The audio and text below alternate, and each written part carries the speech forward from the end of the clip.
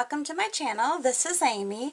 Tonight I'm going to be showing you how I am going to uh, stencil this particular design onto another uh, flour sack dish towel and it's it's pumpkin time with a pumpkin on it.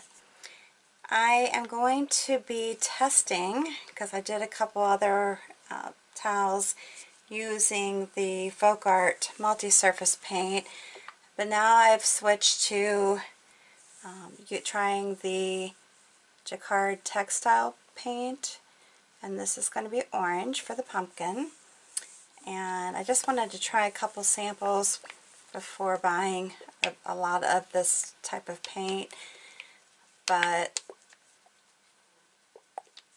I am going to see how it works before I do that. And then this is the Jacquard textile paint for black. Alright, so I'm going to start off, I should start off with the black because it's up here. I'm going to use a couple different stencil brushes. And these are Waverly brushes. Uh, 5 eighths and looks like a half an inch. Alright, so I'm going to use the half an inch for the smaller uh, text. These towels have already been pre-washed just so that you're you know aware of that. This paint does have to be heat set. In my trial before, you might want to check out that video. I heat set one of them and did not heat set the other one and then washed them again. So I'm trying to do this trial before I actually would start selling these. so that I know uh, what I'm actually selling.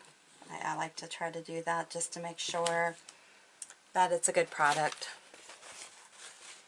Alright, so let's get started on this. I'm just going to dip my stencil brush into the actual jar and then I tapped it on paper towel and I'm just going to come through here and try to get it as good as I can solid as I can on the actual design.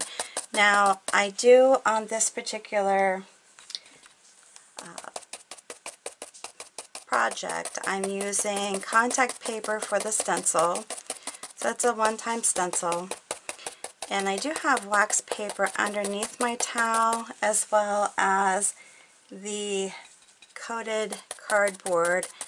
It's actually the shape of a shirt, but I like to use it. It's uh, the Donna Dewberry one stroke type product for fabric painting and I like to use that but I do also recommend placing some uh, wax paper in between just to keep it clean and help move the shirt because you will need to let this dry and then heat set it after it has dried.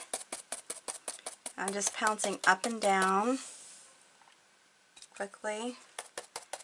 And I will pull the stencil off as soon as I get done with the pumpkin. I want to make sure I get it covered well. This is a very thin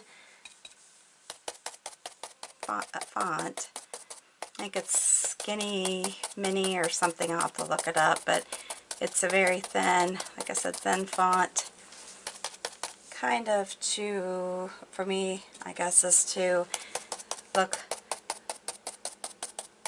um, just kind of similar, and I can't even think of her name, Rae Dunn, to her products. I like I like her skinny font. I don't know what what her font is actually called, but this one reminds me of that. So I am trying to tap this on pretty heavy but again tapping my excess off on a paper towel.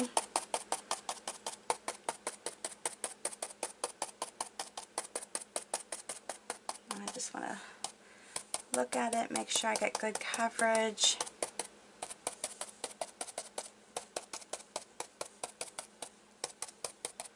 Especially since it's so thin, I want to make sure it covers. Now, while I'm giving that some time, I'm going to bounce over here to the orange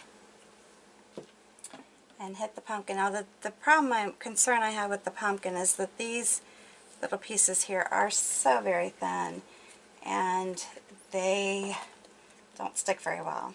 So I may not get some great lines, uh, but this is just a trial piece anyway, so if they're not crisp, so be it. I've already shook this paint. It does require shaking. I've shook it. I'm going to go ahead and get started here on this pumpkin. I do feel that these colors are very bright, vibrant, which is good.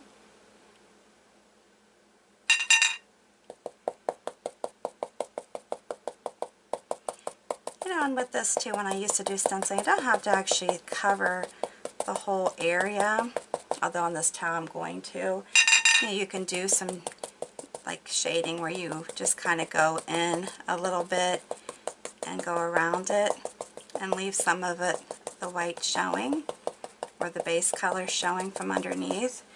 That's cute too.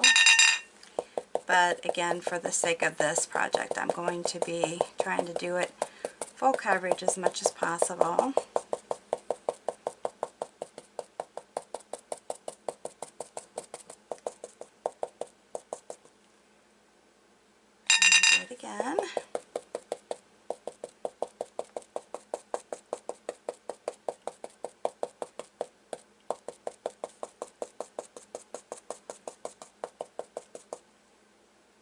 I love stenciling. This is what actually the art form I started out doing because I really wasn't a free-handed artist at all. And I'm still really not, not anything like my, my son. I have a very, very talented son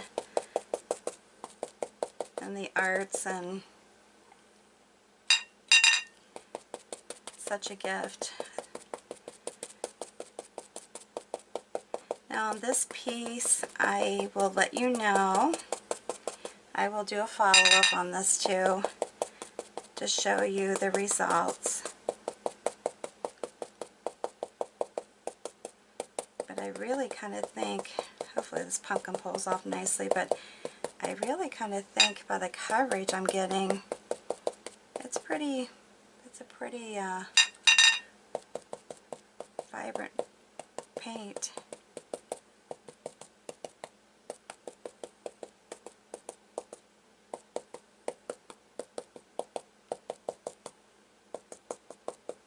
Alright, here goes nothing. I probably should make sure my hands are cleaned off, but this hand is not.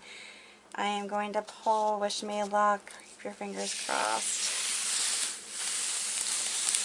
And just try to pull up to get it away from there as quickly as possible. Okay. Looks pretty good.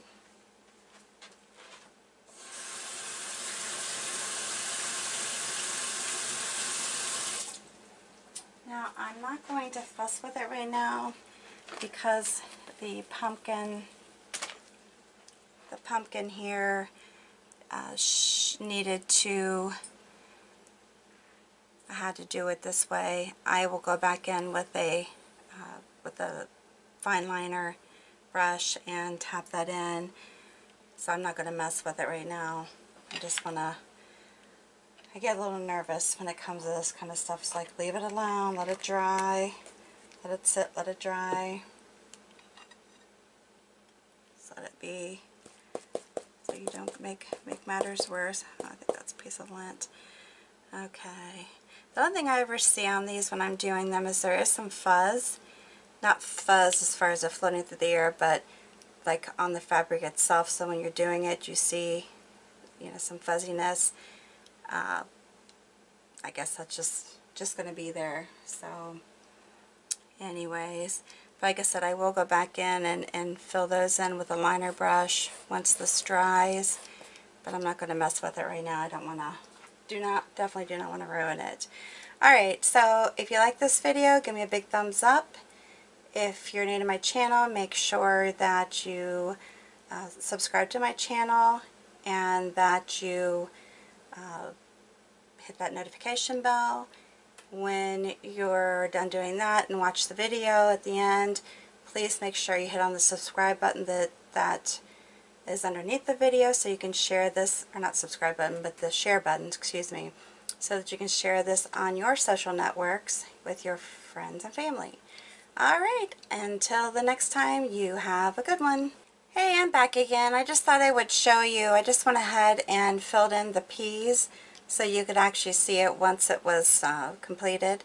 So I went ahead and did that and I'm happy with how it's turned out so far. I'm Going to allow it to dry and do the wash or do the heat set and then do the wash test and I will be back to you at some point with another video to let you know what my results were. Alright, once again, have a good one. Thanks.